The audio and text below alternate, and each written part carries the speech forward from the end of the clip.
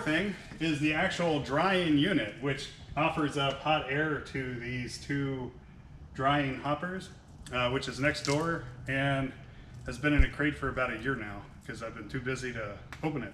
So we'll go over next door and check out the the still new in the crate drying hopper, even though it's been sitting around for a year. All right, let's do that. All right, inside of this crate, which has been sitting around for about a year now, is the dryer, which creates the desiccated hot air, which pumps into the drying hoppers that we just uncrated uh, a few minutes ago. So finally, I'm gonna open this crate and get this bulk of this crate out of here and then we can incorporate the new drying heater for our new system for the dual shot molding machine. Uh, this one's got screws in it. So uh, they must have changed their crate vendor over the last year or so. Actually, they're pretty nice screws.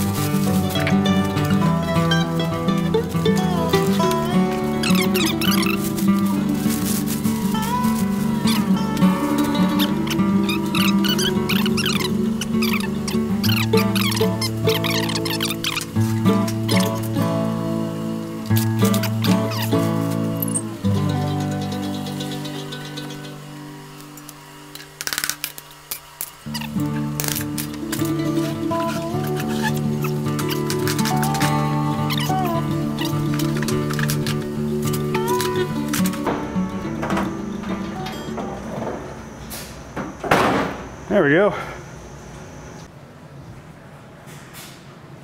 All right, well, this is what the inside looks like.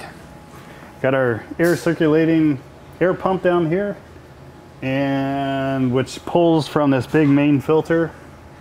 And then there's just a bunch of different chambers that all seem to have desiccant.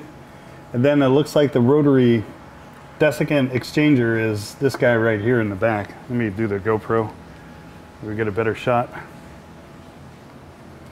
Yeah, so this round drum apparently rotates, probably on the inside. There's, I'll bet you, oh, actually I can see a belt down there at the bottom.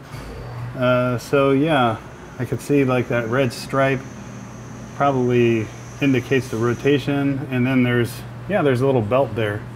Maybe I'll open the other side. May show us a little bit more.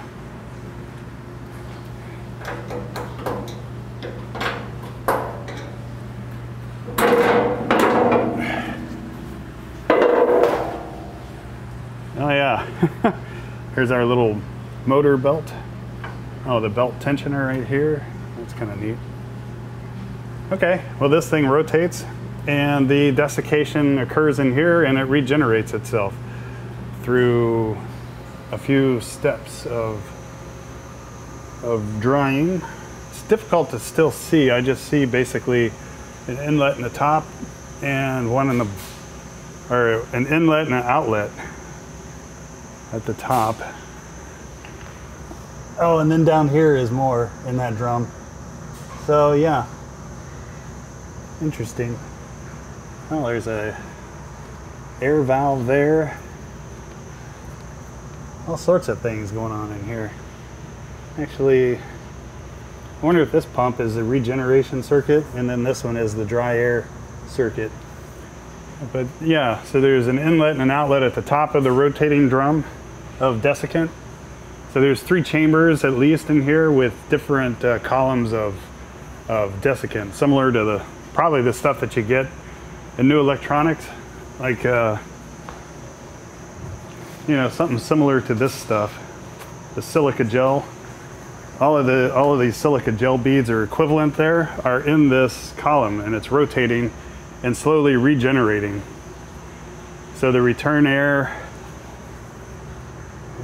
see here. Oh, okay, the return air goes through this big filter and then the return air exits the big filter and then goes into the bottom of the desiccating filter. Probably comes out the top. Yeah, it goes that way.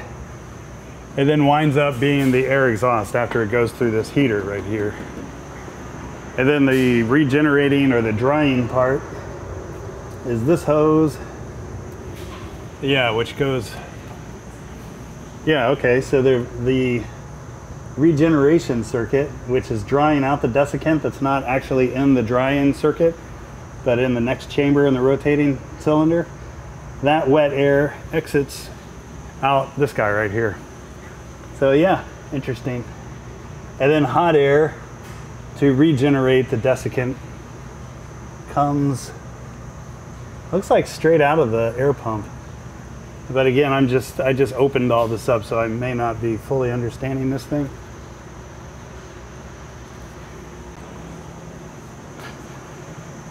All right, so let's stick our panels back on.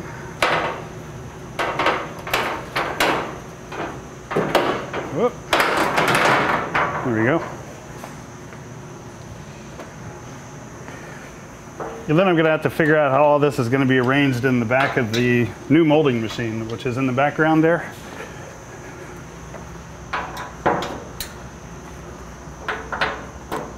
But we can roll it back there and figure it out.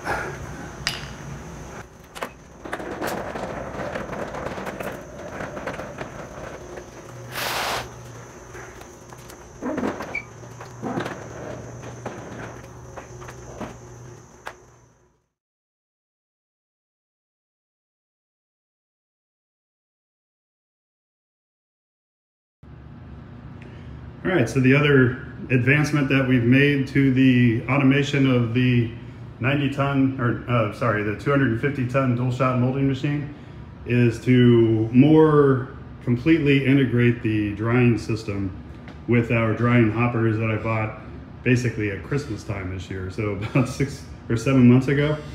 Uh, well, now I'm actually getting it hooked up. So I, I do have some more footage showing the interior of this drying system.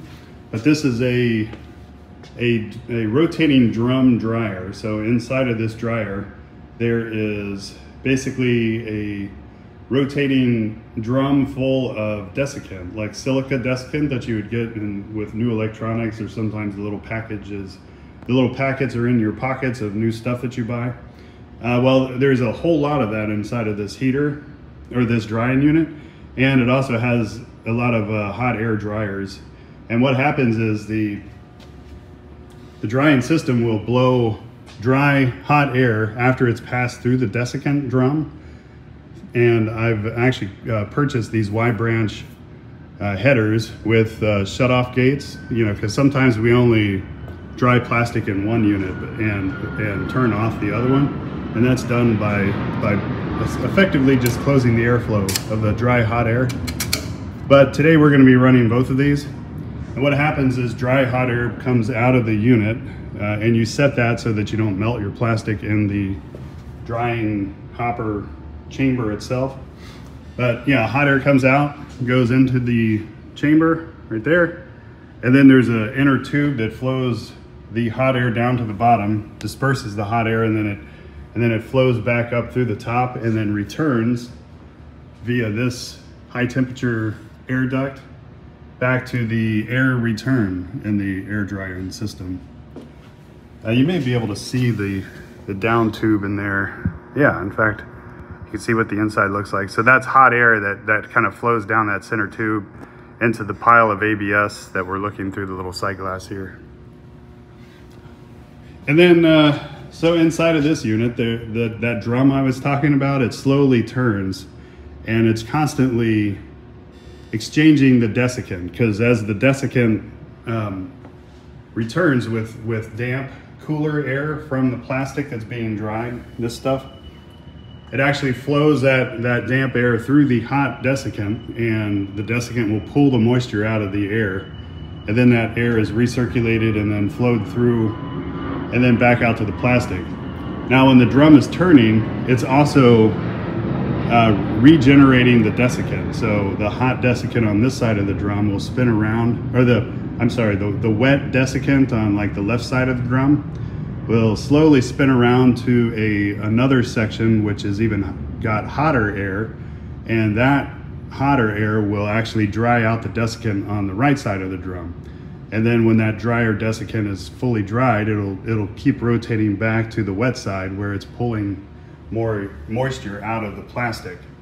So it's a continual uh, wetting and drying cycle in this drum that spins. And there's several chambers in the drum. And so they're all kind of just slowly absorbing moisture and then dumping the, the moisture out from much hotter um, airflow and, and redesiccating it so it goes back and, and continues to dry the plastic in a continual rotating cycle.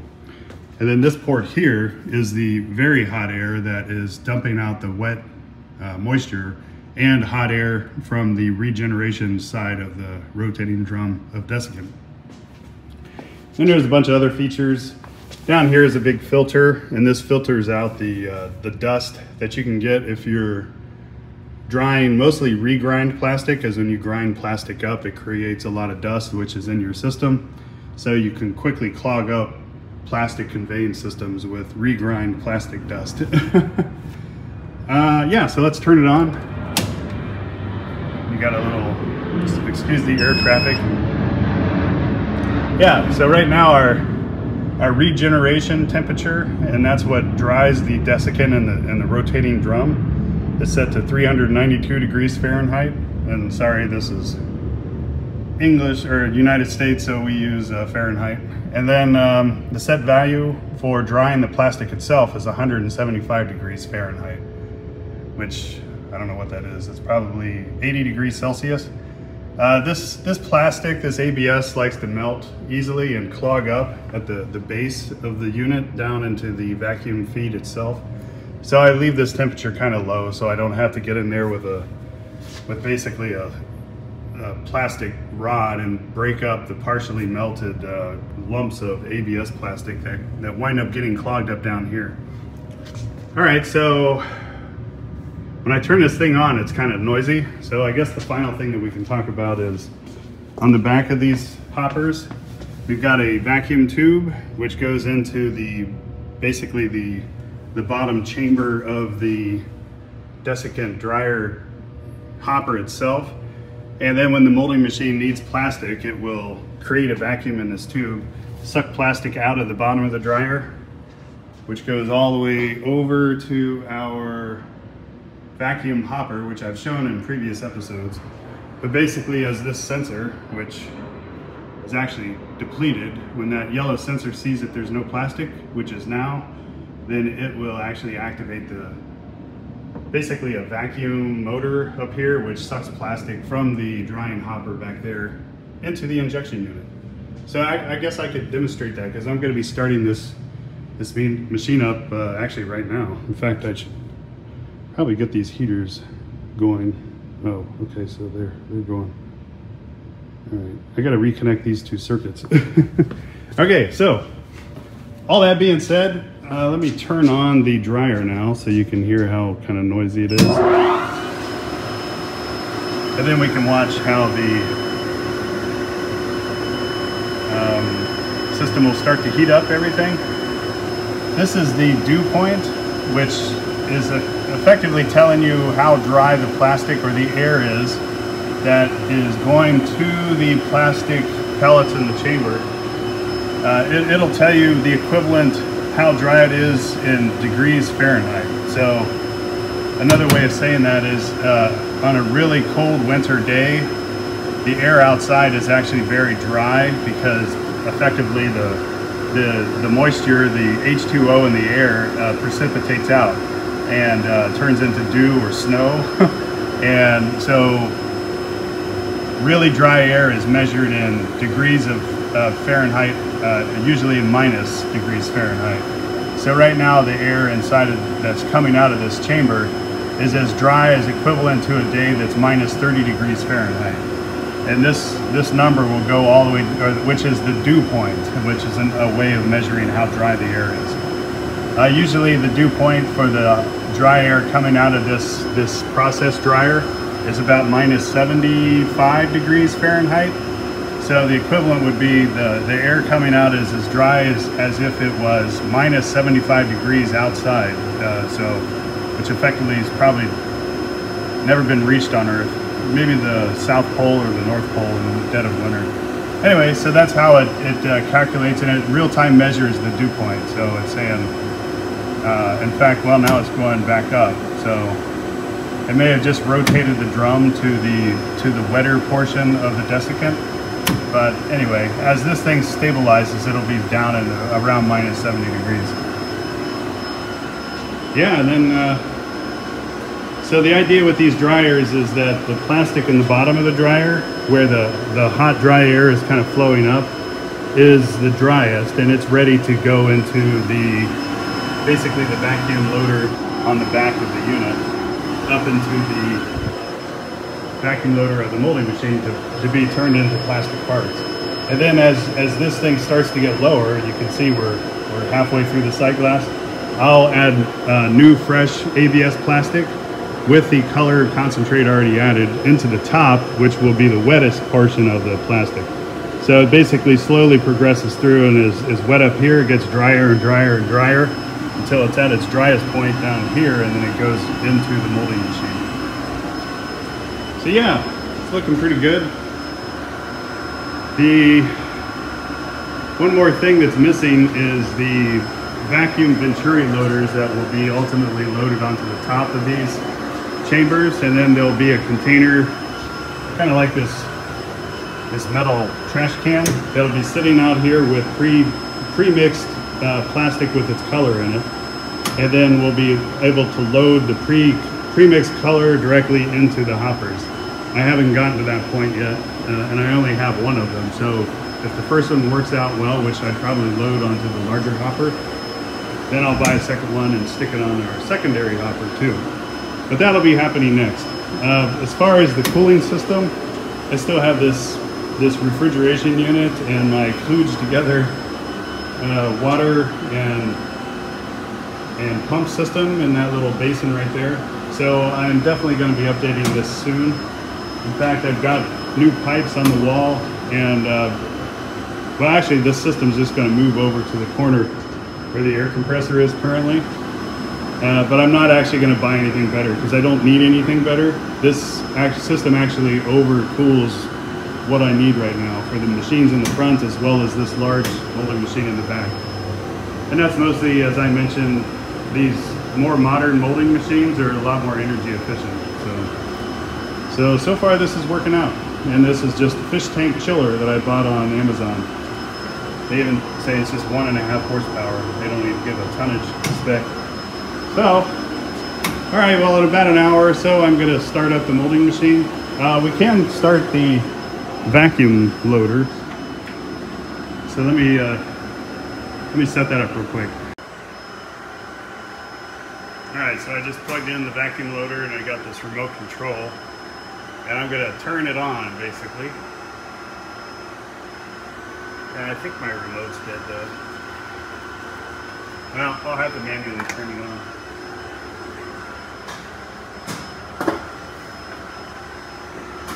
So basically you just flip the switch on and you'll see it's like going through a process. It's got some uh, some air valves in the top. I could put a compressed air line in that black push to connect fitting right there. And what it's doing is. When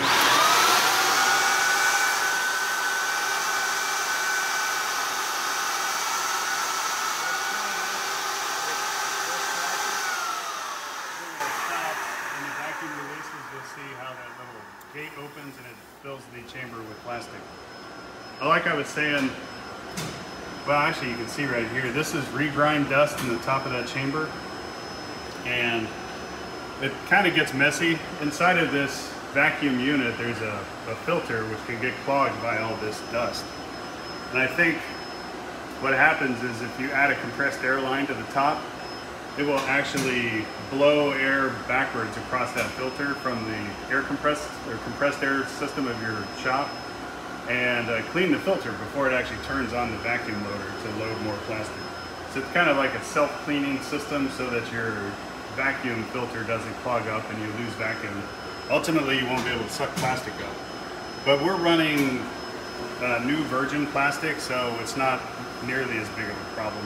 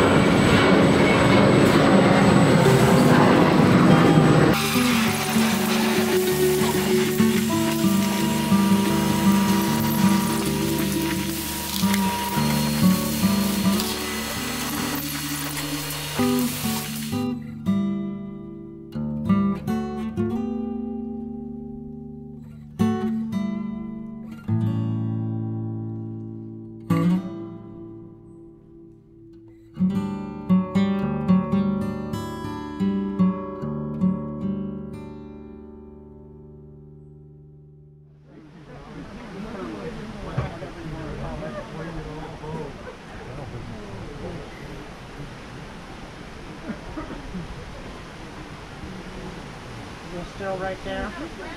Mm. We got the begging iguana here. That's pretty lovely. We're seeing a little bit of its tail. I wonder how close I can get before it launches at me.